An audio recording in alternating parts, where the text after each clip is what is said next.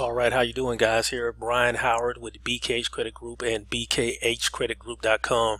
And in this quick video, I'm going to show you what what I believe is the fastest way to start a business credit profile. Right, the fastest way uh, in order to start a business credit profile. You know, one of the questions that I get a lot, you know, people asking about vendors and who reports and you know how many how many accounts do I need to be reported to generate this score? How many accounts do I need to be reported in order to get that score? And so, you know, as you know, in the finance world, you know, the, the, it's ever changing. And so, what I want to do right now is, is uh, basically show you guys a very, very quick blueprint of exactly what you can do in order to build a business credit profile score really quick. Right now, everything that I'm about to show you real quick as far as where I want you to go or where you should go in order to build your business credit profile is based upon the premises and the assumption that you've already set up your entity, that you've already set up a credible business with a uh, deliverable business address and that you have a business phone number and a website and all those things that we talk about when we talk about lender credibility.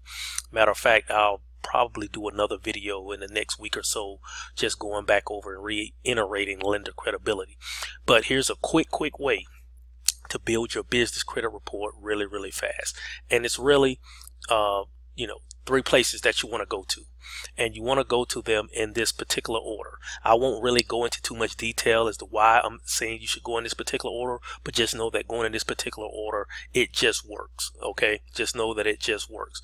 So here we are right here. Trade lines that are going to report to the business credit reporting agents. Now, you want to have five of these in order to move on to the second level uh, of building business credit, of, build, of second level, I should say, of types of business credit, which would be like your retail store credit.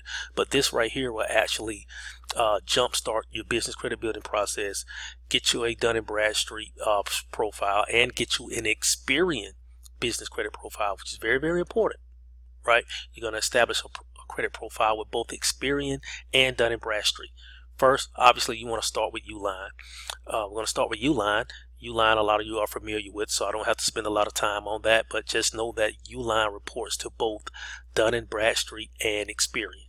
Okay, and then I'll, and then you want to go with Quill, and Quill is going to report to uh, Dun & Bradstreet only right? So that's three payments, and then you have the Wells Fargo Business Secured Credit Card.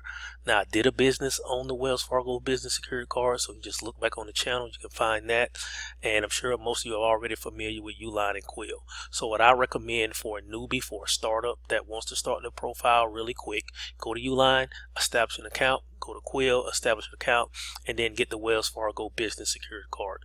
That gives you three, three trade lines that reporting across uh, two, two bureaus that actually give you four payment experiences. All right, so you want to apply for that credit. And, you know, keep in mind, you may be denied to start, or you may have to buy some things you don't need. If you buy something that you don't need, say from a Uline. donate that things, those things to charity, and you can write those things off. But when you are approved for these accounts, just make sure you pay and you pay on time. Okay. All right.